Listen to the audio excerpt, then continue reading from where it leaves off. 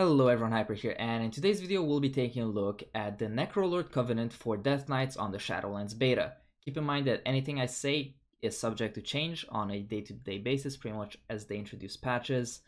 Um, but I wanted to go over the Covenant abilities, the Soul Binds, and just to see how these interactions work. If you saw my Venthyr or my Night Fae video, this is going to be very similar to that. So without further ado, let's get started. And the first thing we're going to look at is the Covenant abilities. So the general ability that we get is Fleshcraft. Um, it's a two minute cooldown and it essentially makes a shield for 20% of your maximum health for two minutes.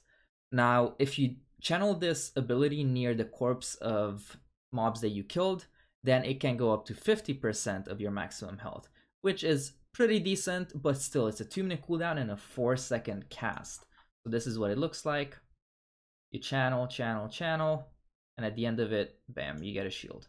As you can see, it's 7,356 damage, which is 20% of my health. Um, it's not that much. So just casting it on its own without any extra benefits, this ability, I think, is among the worst abilities um, but once you start introducing benefits to it, from the soul binds in particular, then it starts becoming a little bit better. But I still don't like that it has a 4 second cast time. For a 2 minute ability, a 4 second cast time is extremely long. This needs to be like a second and a half, 2 seconds at most. 4 second is just way, way, way too much. So that's the general ability that we get. So with other covenants, the general ability would be the, for example, the Venthyr, it's the teleport and for Night Fae, it's the one that turns you into Fox.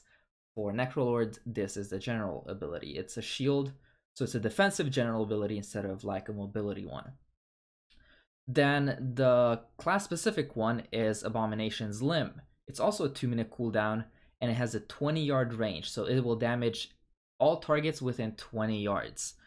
And the way this works is that after you press it, targets within 20 yards take damage, and if the target that takes damage is further than 8 yards, so between 8 and 20, then they get gripped to you. So this is what the ability looks like. A bunch of hands come out. The animation for it is super cool. I really like it. Um, it also does decent amount of damage. The only downside of this ability is that it only grips one target at a time. So if you think it's going to work like a mass grip, uh, it doesn't. It works more like spamming uh, death grip on a single target. But this ability has a lot of potential for Mythic Plus, especially if you're Blood DK. It adds a lot of utility to the Blood DK kit. Just being able to control mobs, interrupt their cast by just moving away from them a little bit, which will force this ability to grip them. Um, grouping mobs up. There's a bunch of mobs in Mythic Plus that tend to charge out to random targets. It gets those targets back into the group to be AoE down pretty quickly. And obviously in PvP, it's going to be super good if you're chasing down a healer or a DPS. Um, just pressing this ability and ensuring that anytime they disengage from you or may create space between you, you're able to grip them back with this ability for 12 seconds. Um, it's pretty nice to have. It is important to note that it's only a 20 yard range, which is 10 yards shorter than our regular death grip. So it's not all that big. It's about the same. Uh, it's a little bit bigger than Mass Grip, but it's not a huge radius. So you got to keep that in mind.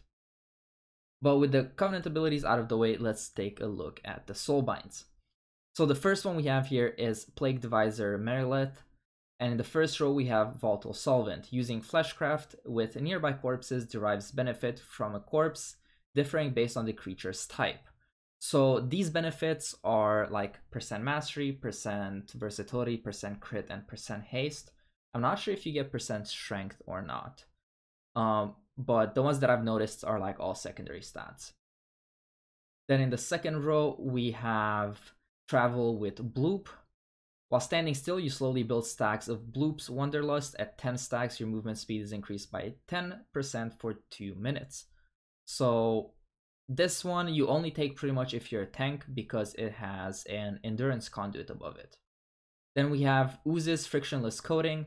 When reduced below 50% health, Ooze uh, courses over you, granting you a shield for 10% of your maximum health for 20 seconds. Again, this could be um, either like a DPS one, depending on what type of conduits you have uh, available, um, or a tank one. And then we have Plagey's Preemptive Strike. Your first attack or spell cast on an enemy increases your damage dealt to them by 10% for 5 seconds. Doesn't occur if Plagey is busy preemptively striking another target. So, just like the crit one from the Night Fae Covenant, I believe, this one is good to an extent. Dealing 10% increased damage is good, but it will typically happen right when you start hitting a target. And in five seconds, you don't have time to ramp up any of your abilities. Some someone made a good point that like Frost DK with Frostscythe doesn't really need to ramp. You just go in and you start spamming Frostscythe. That's true, but in general, um, this I think is more of a blood DK trait um, because those first few seconds you're just spamming blood boils, you're dropping DND, and it's just going to help you out with threat a ton. Um, then moving down, we have Kevin's Keyring, and this just allows you or allows opening of locks that require up to 600 skill. Each second spent channeling Fleshcraft reduces Kevin's Keyring's cooldown by one hour, so you essentially are able to open locks, um, similar to a rogue. Has a 12 hour cooldown, but it gets reduced quite a bit. Then we have Plagueborn Cleansing Slime. Defeating enemies has a chance to deploy your Plagueborn Cleansing Slime, which improves the remaining durability of your armor. No combat benefits, so you just gotta choose between these two depending on which uh, conduit slot you want. Honestly, these two are like equally useless in general. Um, then in the last row, we have Ultimate Form. Fleshcraft renders you immune to crowd control. Okay, there's a few bosses that crowd control you, and obviously in PvP you get crowd controlled. But the thing is that Fleshcraft on a four second channel in PvP is just such a long channel and it's only 20% of your health, so your enemies are just gonna break your shield, then crowd control you. Um, so while this might have some PvE benefits and it sounds good in PvP, I don't actually think it's going to be all that great in PvP. So this guy looks like an okay utility option, uh, but it's not my favorite conduit or soulbind. Moving on to Emeni. In the first row, we have Emeni's Magnificent Skin. When you use your Necrolord class ability or spell, gain a stack of Emeni's Magnificent Skin, stacking up to four times. Using Fleshcraft consumes your Emeni's Magnificent Skin to increase your maximum health by 5% per stack for 2 minutes. So this one is actually pretty decent, um, both for DPS and tanks. Uh, it's a fairly good utility button to have. Every time you use Fleshcraft, you also gain max HP, which is decent. Then we have Cartilage Legs. After taking fog damage, the health lost becomes a shield lasting 38 seconds. Um, just for open world, not all that useful in general. Then we have Hearth Kidney Stone. You may attune your Hearth Kidney Stone to any resting location and return to it 24 hour cooldown reduced by 5 minutes every killing blow, so you just get an extra hearthstone essentially. Uh, moving down to the third tier, we have Gristle Toes. Movement speed increased by 2% for every nearby enemy up to 10%. So pretty decent, but usually DKs need the movement speed when there's no enemies around. So it's a little counterintuitive. This might be pretty decent in PvP though, uh, especially in 3v3. Then we have Gnashing Chompers, gain 1% haste for 20 seconds after defeating an enemy up to 5%. This one instantly shouts either bosses with adds that spawn or uh, Mythic Plus.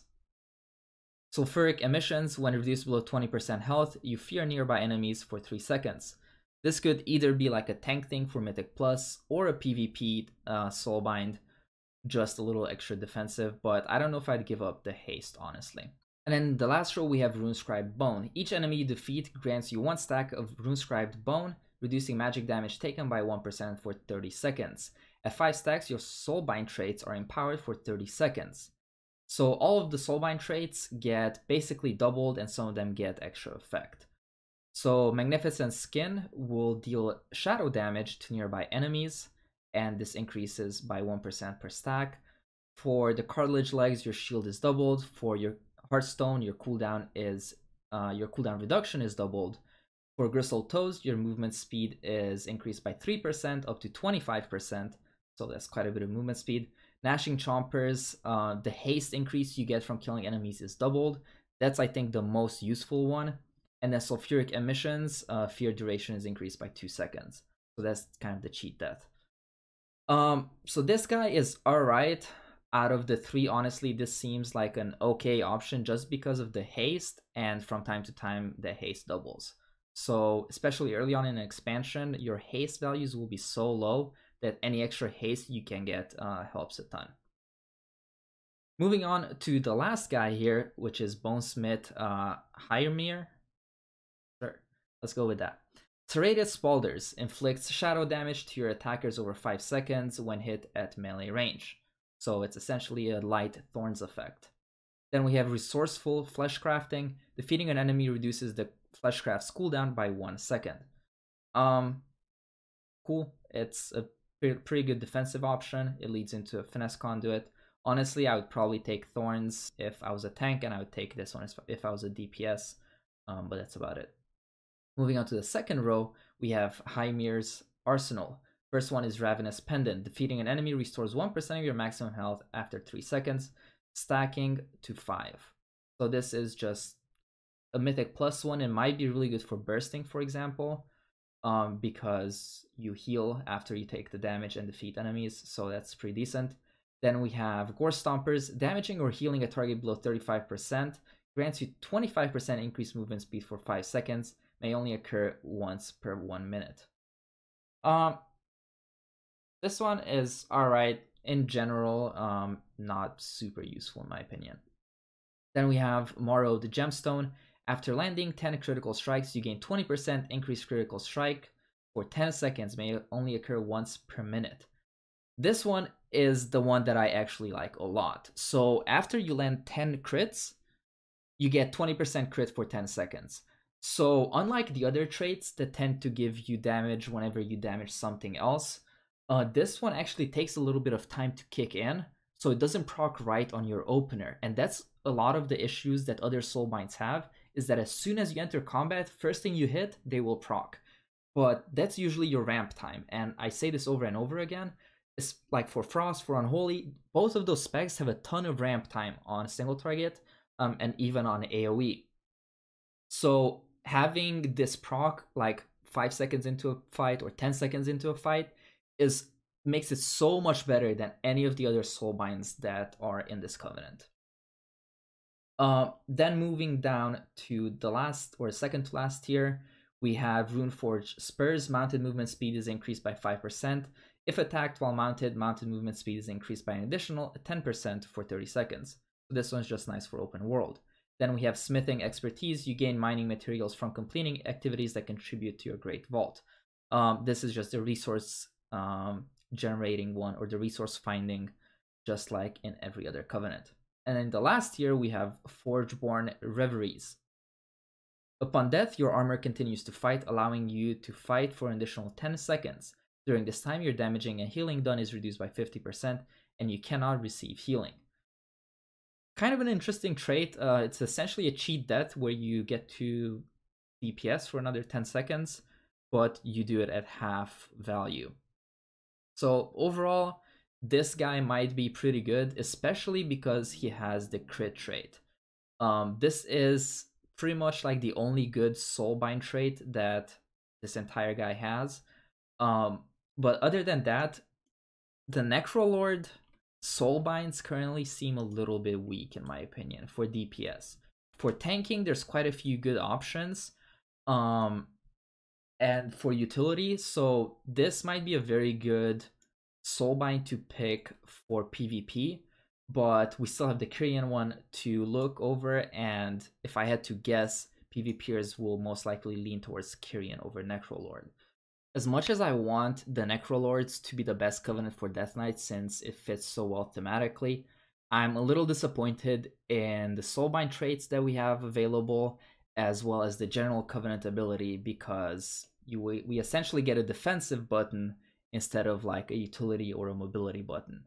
Um, so while it's nice situationally, in general, I feel like Necrolord will not be a very popular option for top end raiders. That is, um, but it will be super popular in like middle and middle raiding uh, or like casual raiding since thematically it fits so well with the DK class. That was my preview video for the Necrolord Covenant for Death Knights. Let me know in the comment section below what you think about this covenant. Are you going to go Necrolord even after seeing the options that you have available as far as soulbinds go and the covenant abilities? Or have you changed your mind and are you going to opt for one of the different covenants? Again, thank you so much for watching and I'll see you in the next one. Bye bye.